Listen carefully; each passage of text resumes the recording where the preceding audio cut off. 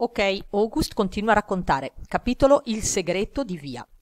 Un paio di giorni dopo la fine delle vacanze di primavera, la mamma ha scoperto che Via non le aveva detto di una certa recita scolastica che ci sarebbe stata al suo liceo la settimana seguente. E la mamma si è arrabbiata un sacco. La mamma non si arrabbia mai così, anche se papà ha un'altra opinione, ma con Via si è infuriata davvero tantissimo. Hanno fatto una lite che non finiva più e le mie orecchie bioniche da Lobot non eh, sono riuscite a sentire la mamma che diceva si può sapere che cosa ti sta succedendo ultimamente, Via? Sei lunatica e taciturna e non racconti più niente. Che c'è di tanto sbagliato se non ti dico di una stupida recita? Via stava praticamente urlando. Non devo recitare nemmeno una battuta io.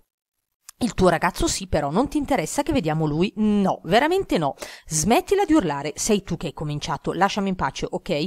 Sei stata così brava a lasciarmi in pace per tutta la mia vita, finora non capisco perché hai scelto proprio il liceo per cominciare a interessarti di Dopo non so che cosa le abbia risposto la mamma perché tutto è diventato improvvisamente silenzioso e persino le mie orecchie bioniche da Lobot non riuscivano a rivelare un segna- rilevare un segnale. La mia caverna. Per ora di cena sembravano essersi chiarite. Papà lavorava fino a tardi, Daisy stava dormendo. Avevo vomitato un bel po' prima quel giorno e la mamma aveva preso un appuntamento per portarla dal veterinario il mattino dopo. Eravamo seduti tutti e tre e nessuno parlava. Alla fine ho detto: Allora, andiamo a vedere Justin alla recita? Via non ha risposto ma ha abbassato gli occhi sul piatto. Sai, Oggy, mi ha detto piano la mamma, non avevo capito che genere di spettacolo fosse e non è davvero una cosa che potrebbe interessare un ragazzino della tua età. Vuoi dire che non sono invitato? Ho fatto io guardando via. Non ho detto questo, ha ribattuto la mamma, solo non penso che ti divertiresti. Ti annoieresti un sacco, ha insistito via, come se mi stesse accusando di qualcosa, ma tu e papà ci andate. Ci andrà papà, ha risposto la mamma. Io resto a casa con te. Che cosa? ha strillato via in faccia la mamma. Oh, fantastico, è così che mi punirai per essere stata sincera con te, non venendo allo spettacolo. All'inizio non volevi nemmeno che ci venissimo, ricordi? ha risposto la mamma. Ma adesso che sai il motivo, certo che voglio che ci vieni, ha esclamato via. Beh, devo tenere conto dei sentimenti di tutti qui. Via, ha detto la mamma. Si può sapere di che cosa state parlando? ho strillato. Di niente, sono sbottate tutte e due all'unisono. È soltanto una cosa della scuola di via che non ha niente a che vedere con te, ha detto la mamma. Stai mentendo, ho detto io. Scusami, ha fatto la mamma, tipo sconvolta. Persino via sembrava sorpresa. Ho detto che stai mentendo, ho gridato. È una bugia, ho strillato in faccia via, alzandomi. Siete bugiarde, tutte e due. Mi state raccontando un mucchio di bugie come se fossi un idiota. Siediti, Oggi, mi ha ordinato la mamma prendendomi per un braccio. Mi sono divincolato e ho puntato il dito contro via. Credi che non lo sappia che cosa sta succedendo? Ho strillato. È solo che non vuoi che nel tuo fantastico nuovo liceo gli amici sappiano che hai un fratello mostro. Oggi, ha urlato la mamma, non è vero. Smettila di mentirmi, mamma, ho gridato. Smettila di trattarmi come un poppante. Non sono ritardato. Capisco quello che succede. Mi sono precipitato in corridoio e di lì in camera mia, sbattendomi la porta dietro le spalle così forte che ho sentito letteralmente pezzettini di muro sbriciolarsi dentro l'intelaiatura. Poi mi sono lasciato crollare sul letto e mi sono tirato sulle coperte fino al mento. Mi sono ammucchiato tutti i cuscini sopra la mia faccia disgustosa e poi ho impilato anche tutti gli animali di peluche sopra i cuscini, come se fossi dentro una piccola caverna e se avessi potuto andarmene in giro tutto il tempo con un cuscino sulla faccia, lo avrei fatto. Non so nemmeno come ho fatto ad arrabbiarmi arrabbiarmi tanto.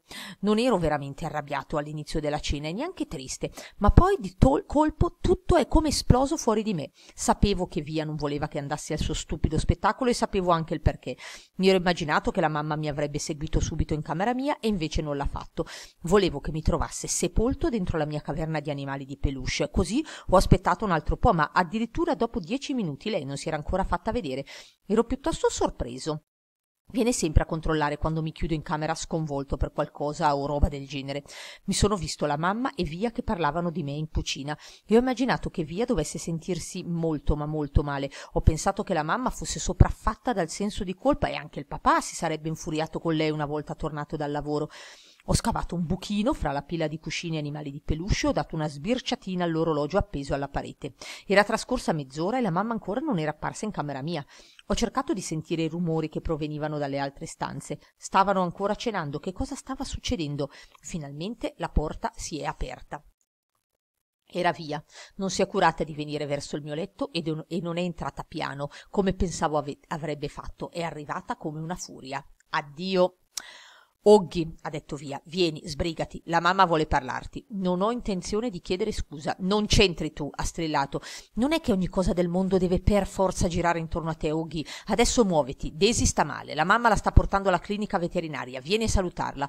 Ho buttato via i cuscini dalla faccia e l'ho guardata. È stata lì che mi sono accorto che piangeva.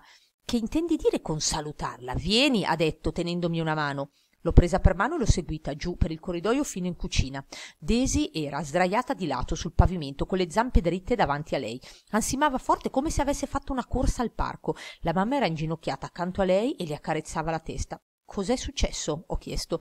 Di colpo ha cominciato a guaire mi ha spiegato, via inginocchiandosi vicino alla mamma. Ho abbassato gli occhi sulla mamma, stava piangendo anche lei. La porto all'ospedale degli animali in centro, ha detto. Il taxi sta per arrivare. Ma il veterinario ha detto che la rimetterà in sesto, giusto? Ho chiesto io. La mamma mi ha guardato. Lo spero, tesoro. Ha risposto piano, ma sinceramente non lo so. Ma certo che sì, ho insistito. Daisy è stata male spesso ultimamente, Oghi ed è vecchia. Ma loro possono farla guarire, ho ribadito, guardando via in cerca della sua approvazione. Invece via non ha nemmeno alzato la testa. Alla mamma tremavano le labbra. Credo che potrebbe essere arrivato il momento di dire addio a Daisy, Oghi. Mi dispiace. No! Ho gridato. Non vogliamo che soffra, Oghi, ha detto la mamma. È squillato il telefono, via risposto, ha detto ok, grazie e ha riattaccato. Il taxi è fuori, ha aggiunto, asciugandosi le lacrime con il dorso delle mani. Bene, Oghi, mi apri la porta, tesoro, ha detto la mamma prendendo in braccio Daisy molto delicatamente, come se fosse un grosso bambino addormentato. Ti prego, no, mamma, ho detto piangendo, parandomi davanti alla porta. Tesoro, per piacere, ha detto la mamma, è molto pesante. Il papà? ho gridato. Mi raggiunge all'ospedale, ha risposto la mamma. Non vuole che Desi soffra, Oghi. Via mi ha scansato dalla porta e l'ha tenuta aperta la mamma. Ho il cellulare acceso se avete bisogno di qualcosa, ha detto la mamma Via. Puoi coprirla con la coperta. Via ha fatto segno di sì con la testa, ma stava piangendo disperatamente adesso. Salutate Desi, ragazzi, ha detto la mamma con le lacrime che le rigavano la faccia. Ti voglio bene, Desi, ha detto Via baciandola sul muso. Ti voglio tantissimo bene. Ciao bella, ho sussurrato all'orecchio di Daisy, ti voglio bene. La mamma l'ha portata giù dai gradini della veranda. L'autista del taxi aveva aperto la portiera posteriore e siamo rimasti a guardarla mentre saliva in macchina. Un istante prima di richiudere lo sportello la mamma ha alzato gli occhi su di noi, fermi, davanti alla porta di casa e ci ha fatto un piccolo cenno di saluto con la mamma. Mano, non credo di averla mai vista più triste di così. Ti voglio bene, mamma, ha gridato via. Ti voglio bene, mamma, ho detto anch'io. Mi dispiace, mamma. La mamma ci ha soffiato un bacio e ha chiuso la portiera. L'abbiamo guardata partire poi via ha richiuso la porta di casa. Mi ha guardato un secondo, poi mi ha abbracciato fortissimo e tutti e due abbiamo versato un milione di lacrime. I giocattoli di Daisy. Justin è venuto da noi circa mezz'ora dopo. Mi ha abbracciato forte e mi ha detto mi dispiace Oghi. Tutti e tre ci siamo seduti in soggiorno, senza dire nulla. Per una qualche ragione io e Via avevamo raccolto tutti i giocattoli di Daisy sparsi per casa e li avevamo ammucchiati vicino al tavolino della sala. Adesso non sapevamo fare altro che fissare quel mucchietto.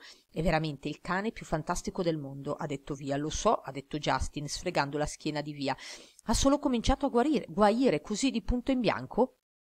Ho chiesto, via annuito. Tipo, due secondi dopo che ti sei alzato dal tavolo, ha detto, la mamma stava venendo da te, ma Daisy ha cominciato come a piagnucolare. Piagnucolare come? Ho chiesto. Piagnucolare, basta, non so, ha risposto via. Tipo che ululava, ho insistito. Tipo che guaiva, oh è sbottata. Ha semplicemente iniziato a lamentarsi, come se qualcosa le facesse molto male, e ansimava in maniera folle, dopo si è come accasciata. E la mamma si è chinata su di lei, ha cercato di metterla in piedi, tipo, ma era evidente che le faceva male qualcosa, l'ha persino morsicata morsicata che ho fatto io. Quando la mamma ha cercato di toccarle la pancia, Desi le ha morsicato la mano, ho spiegato via. Ma Desi non morsica mai nessuno, ho risposto. Non era lei, è intervenuto Justin. Evidentemente aveva male da qualche parte. Papà aveva ragione, ha detto via, non avremmo dovuto permettere che arrivasse a stare tanto male. Che vuoi dire? ho chiesto. Lui sapeva che era ammalata. La mamma l'ha portata dal veterinario tipo tre volte negli ultimi mesi, Oghi. Non faceva che vomitare a destra e a sinistra. Non te ne sei accorto, ma non sapevo che fosse ammalata. Via non ha detto niente, ma mi ha messo un braccio intorno alle spalle, mi ha tirato vicino a sé e ho cominciato a piangere.